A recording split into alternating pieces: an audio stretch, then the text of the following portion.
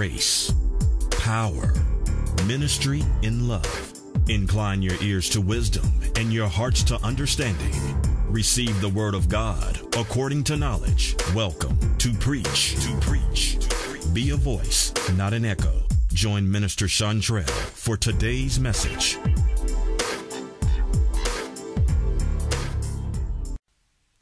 Good day, beloved. And to all who are listening today, I want to thank you for joining me. I'm going to begin with prayer.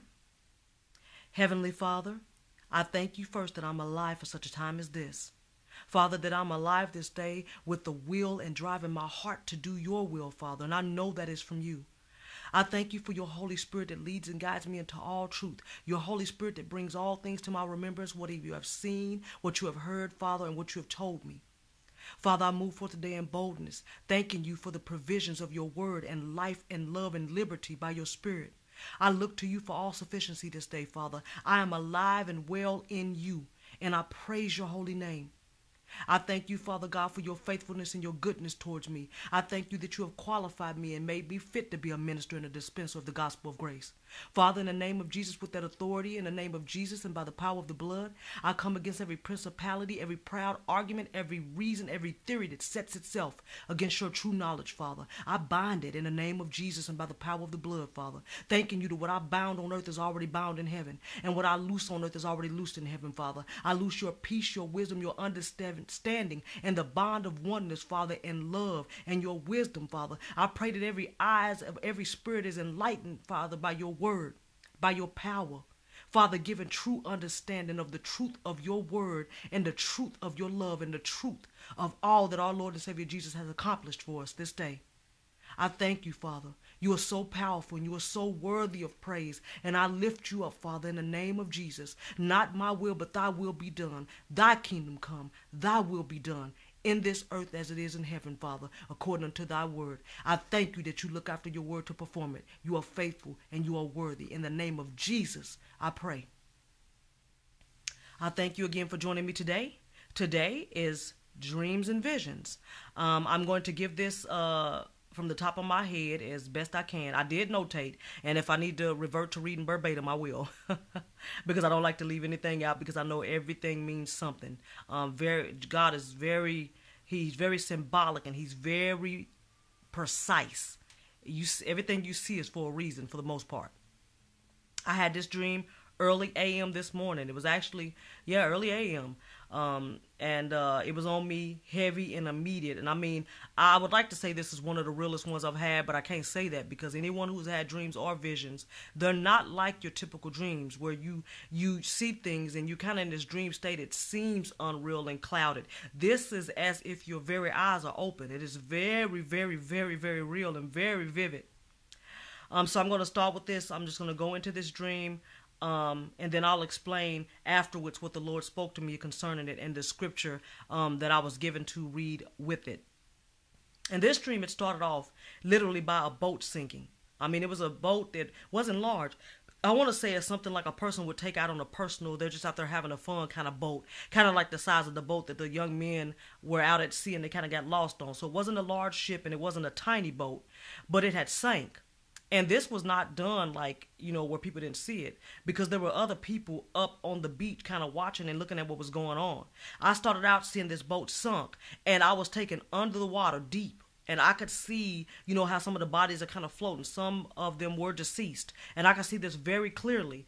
And there were some people kicking at the top of the water. I could see the glare on the top of the water. And I could tell that in my human body, I began to really hold my breath because I was holding it until I had to let it go. And I breathed. And of course, I was breathing underwater and I was unharmed. And I breathed. And as I breathed, I was taken to the top.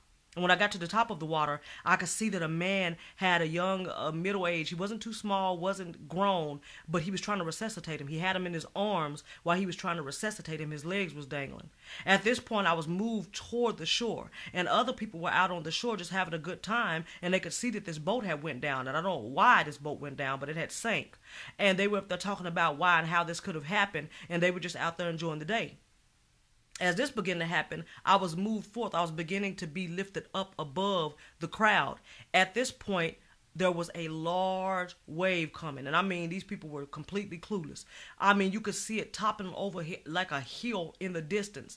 And I could hear there's a wave coming. At this point, it's like I heard it, but somehow the people heard it because I didn't say it and they started to run and panic. And there was, I, I, promise you, with this wave and the size of it, there was absolutely nothing that could have been done. And I was ahead because it was like no sirens, no tsunami alerts, no warning whatsoever because people were out there just having a good time uh, off the coast of this beach.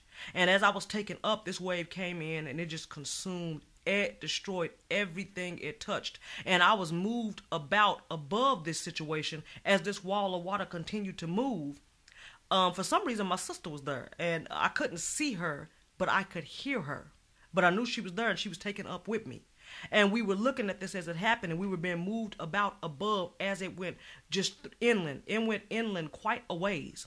And as it was going inland, I, the Lord is very specific. I don't know why He was making sure I could see these trees, these pine trees, these particular ponderosa pine trees and another name for it, which I'll, I'll, put in the notes that I looked up after the fact, because they were very vivid and he made sure they were right in my face. And I knew I was in California but I also knew that these trees were somewhere else too, and it was very important that I focused on them because this is something I was get inside my spirit as I was moving. Anyone who who have had this happen to you, you know what I mean. Because while you're seeing these things, your understanding is being put in your heart simultaneously at sometimes. And as we moved over these trees, other people began to come out because they heard all this commotion. And as they came out their house to see what was going on, they were taken by these waves. It was very, very destructive. It was very, very violent um, very violent movement of this water.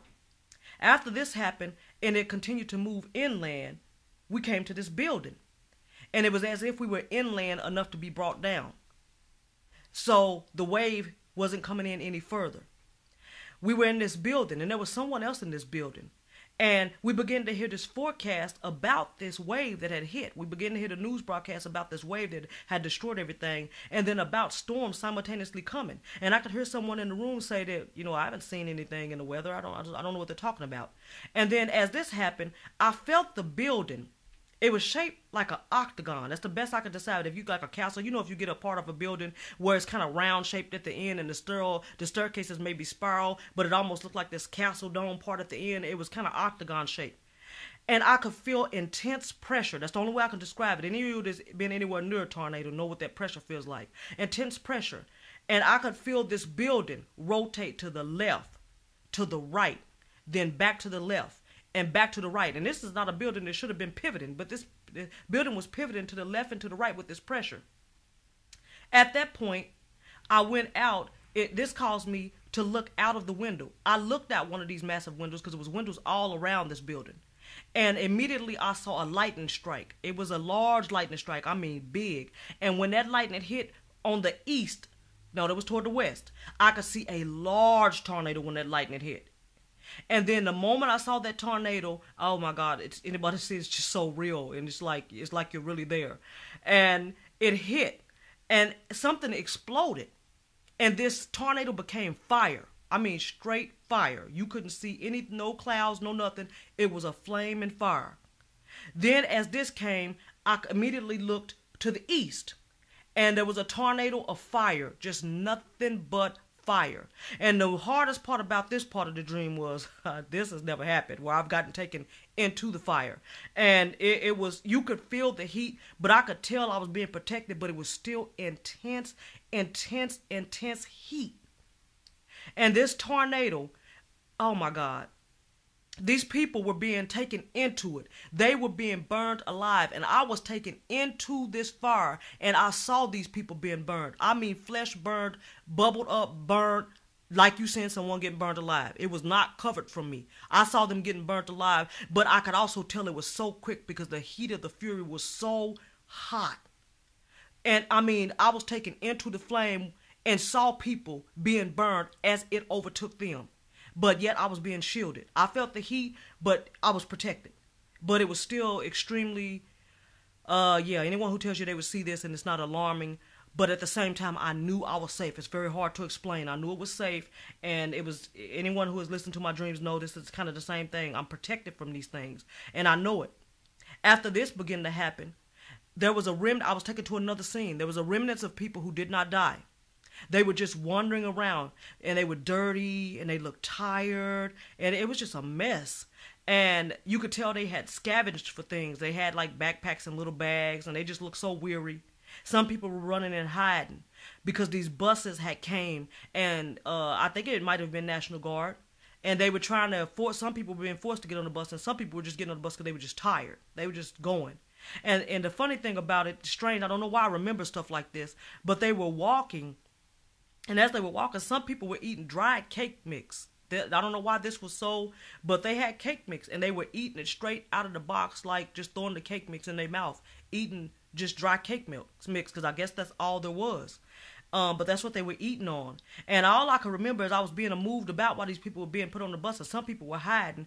And in my spirit, and it was like at this point I was yelling, "Don't get on the bus! Don't get on the bus! Please don't get on the bus!" Because I knew that where they were really being taken, they were not going to come back. and it was not people that were really trying to help them. That they were not coming back, and they were not going to get help like they thought they were going to get. And I kept saying, "Don't get on the bus! Please don't get on the bus!" And that was the last thing I was saying before I opened my eyes and that was the end of the dream. And you know, as I saw this going on, it was just I had never seen quite that graphic of death before. You know, I've seen people die. You know, I've seen like when I gave the dream with the angel Michael, where it was some kind of pestilence where their skin bubbled up like they were being boiled and they popped. I mean, that was pretty graphic. Um, but this being taken into the fire, seeing people scream, and they were being consumed by this tornado of fire. And in my heart, I know this was the fear of God because this is what He put in my heart. I'm going to read a few scriptures here um, that I was given. Jeremiah verse 4. Jeremiah 4 verse 4. Circumcise yourselves to the Lord and remove the foreskins of your heart, men of Judah and inhabitants of Jerusalem, or else my wrath will go forth like fire and burn, with none to quench it, because of the evil of your deeds. Jeremiah 21 and 12. O house of David, thus says the Lord, administer justice every morning and deliver the person who has been robbed from the power of his oppressor, that my wrath may not go forth like fire and burn with none to extinguish it because of the evil of their deeds. There it is again. Isaiah 9 and 19. By the fury of the Lord of hosts, this land is burned up, and the people are like fuel for the fire. No man spares his brother. Then Isaiah 66 and 15. For behold, the Lord will come in fire, and his chariots like a whirlwind, to render his anger with fury, and his rebuke with flames of fire. And then I have Ezekiel 22 and 31. Thus I have poured out my indignation on them. I have consumed them with the fire of my wrath. Their way, for their way, I have brought upon their heads, declares the Lord. And then I'm going to finish off with Act 2 and 17. And it shall come to pass that in the last days, said God, I will pour out my spirit upon all flesh. And your sons and your daughters shall prophesy, and your young men shall see visions, and your old men shall dream dreams. And upon my handmaiden, on those days I will pour out of my spirit. And this is also repeated in Joel 20, Joel 2, 28 through 29. And the Lord wanted me to read those scriptures because we are following the very pattern. The America is following the very pattern that the children of Israel did. And it's going to come to the same destruction. He is not a respecter of persons. The same actions get the same results. The fury of God and the destruction of America and the judgment that has begun. This is what the Lord gave me this day in a dream, um, and it is urgent. I mean, oh my God, it's urgent. I mean, the, the amount of death. No one wants to see anyone die that way. But this just is more affirmation of other dreams he's given me where I've seen entire cities burned. Entire cities were burned and blazed up. And some with volcanic lava and ash. And uh, many with, uh, I don't, I'm not sure how some of the other fires started, but many cities being burned. And this is just another one. I want you guys to stay tuned because I have pages of dreams. And in my heart, I know it's time to where he's going to have me release many of them. Some of them I've had for years, and it was not the season of release. But now the season of release uh, is upon us. I'm 100% sure of this. Uh, take these dreams, as always, to the Lord um, and pray. For those of you who have not given your heart to Him, I pray that you will this day. Go to my channel. I have a dream uh, shall I say, a video of salvation where you can just listen to it and repeat it word for word with your whole heart, surrender to Him. um, that you may be saved before it is too late. Um, I just pray, I urge you by the mercies of God to give your life to Him this day. Again, I thank you for joining me today. Stay tuned for the messages that are to follow. God bless you and grace be with you all. Thank you for joining us today on Preach. Be a voice, not an echo. We pray that you were encouraged and empowered by today's message. Until next time, we encourage you to hang on to God's unchanging hand and preach. Grace be with you.